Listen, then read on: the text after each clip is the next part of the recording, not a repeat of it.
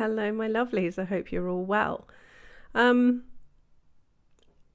absolute craziness going on in the world right now. Um, if you are familiar at all with Scotland and Scottish politics, you will know that the controlling party is the SNP, that's the Scottish National Party. They've been in control for some years and um, they have fully embraced the woke culture and taken it to new heights that uh, we haven't seen yet in England um, or perhaps other places in the world.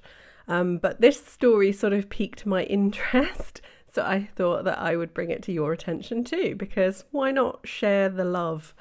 Um, so this is insane. Male friends who discuss their sex lives loudly in public could be jailed for seven years in Scotland. So, this is, as I said, insane. Um, so, apparently, this is um, Scotland's aim of criminalising misogyny, right? So, new laws being proposed in Scotland could lead men to be jailed for up to seven years if they discuss their sex lives slash conquests with their friends loudly in a public place.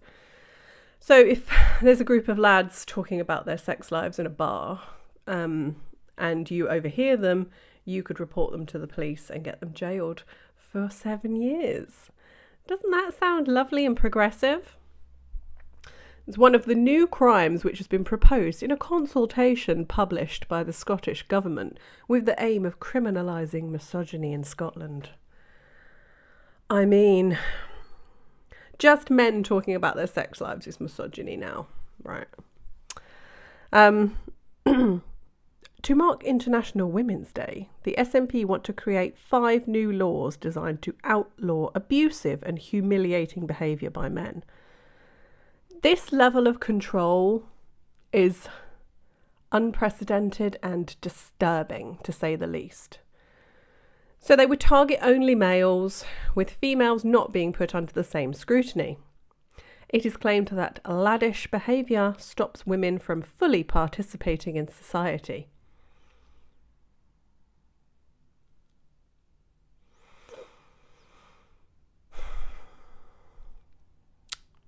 A new offence called misogynistic behaviour would mean that an offender would not have to directly address the opposition sex to be found guilty.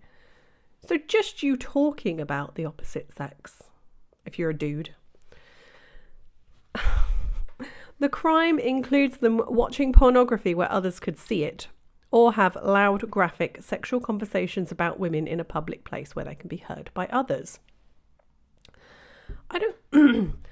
the um, oh, just the double standards. You know, there are there are tons of women sat on podcasts talking about their conquests, but that's absolutely fine because they want women hypersexualized. But for men to be hypersexualized is somehow misogynistic and toxic. Um, it, it just beggars belief, it really does. Um, Views are being sought by the Scottish Government on what sanctions should be handed out to those guilty of offences like this, with the maximum punishment being proposed being seven years imprisonment. I mean, people get less for manslaughter. This is like. Is this peak woke? Have we reached peak woke yet where people are going to fight back? Because honestly, this is a joke, right? This has to be a joke. And let's not forget that the SNP have just lost their their leader, Nicola Sturgeon, because of her woke policies, right? So she's been forced to step down because she's an absolute horror. But that doesn't stop them. It hasn't stopped them. I'm just I'm absolutely flabbergasted by this. The criminal offences would be triggered in cases where the perpetrator perceives their victim to be a woman, irrespective as to the victim's sex or gender. So again, this just so this could be men against men, but if one says they're a woman, then that's misogyny.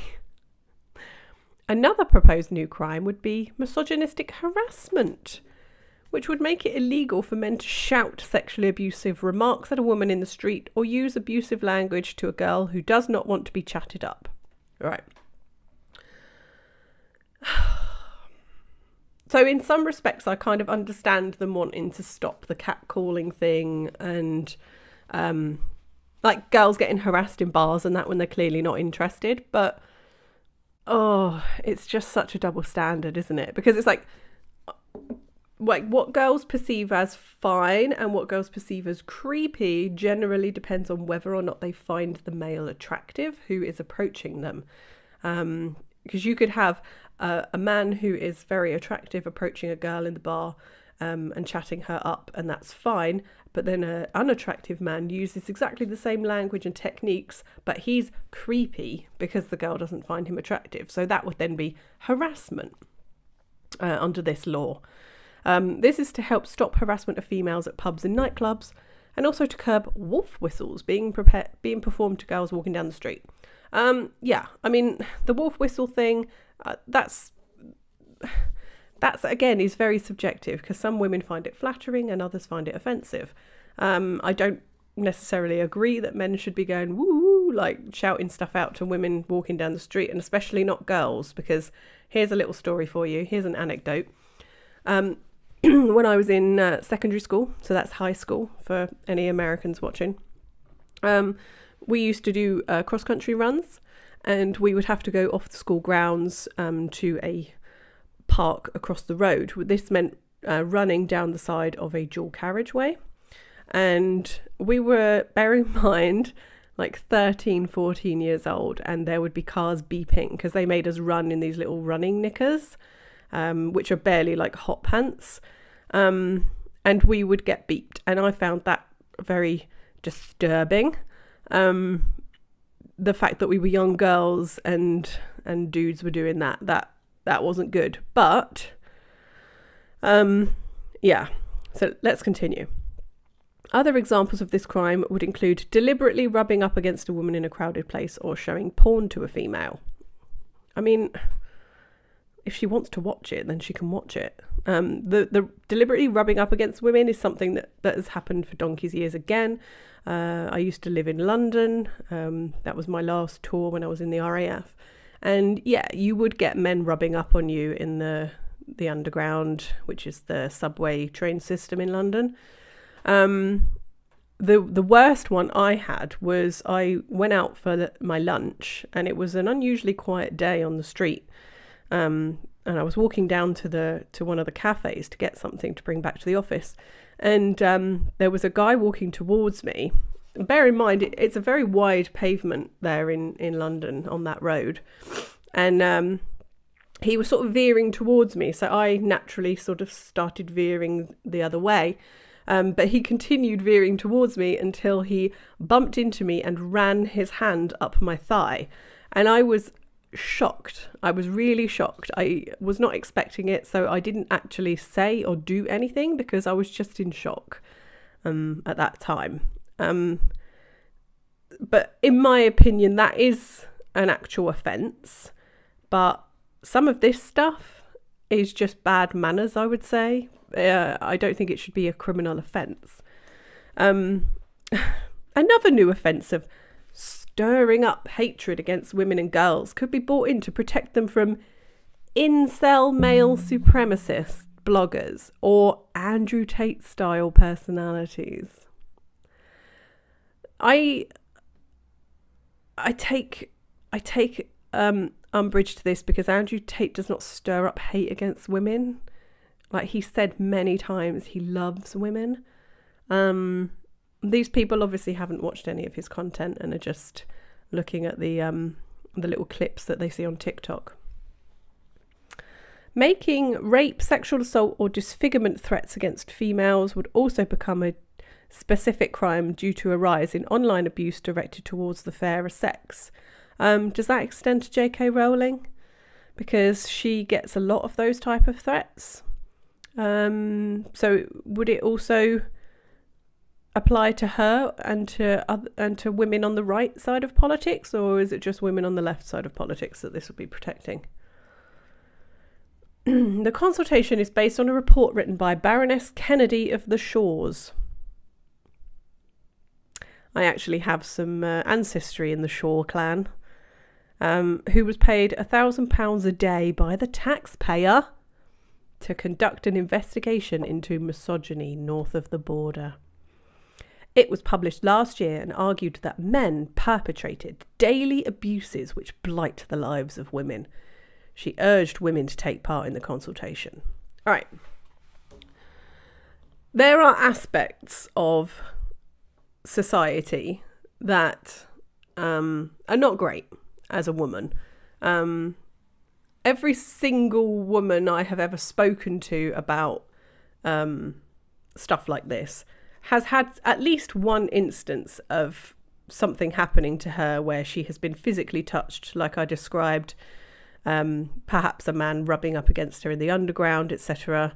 Um, I once had a, a guy put his hand up my skirt in a in a bar, um, and stuff like that. I I don't think should happen.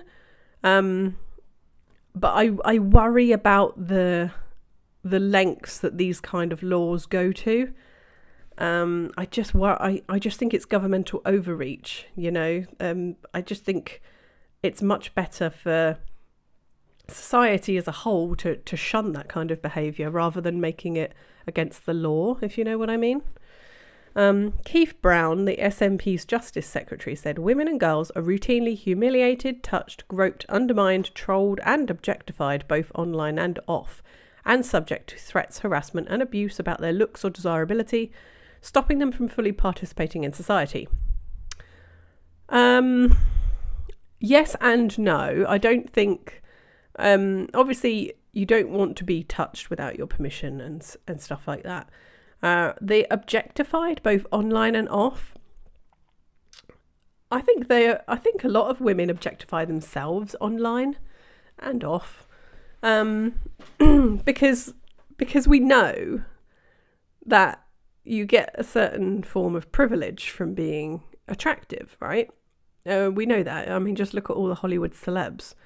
You know, they some some are very talented actors, but would they be where they are if they weren't also beautiful? You know? Although there are already a range of laws that can be used to prosecute aspects of misogynistic harassment and abuse, these do not accurately identify the particular harm caused by misogyny. Right.